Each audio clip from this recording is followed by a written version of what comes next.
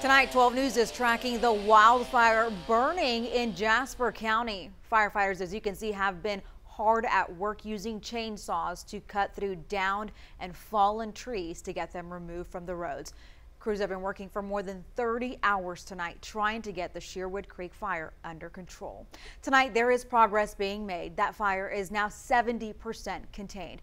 Good evening everyone. I'm Brenda Matudi. And I'm Jordan Williams. This is a huge group effort with crews from different counties, even other states coming together to protect the people of southeast Texas. Here are the other big headlines. The fire grew even more today to roughly 3,500 acres, some reports as much as 3,700 acres.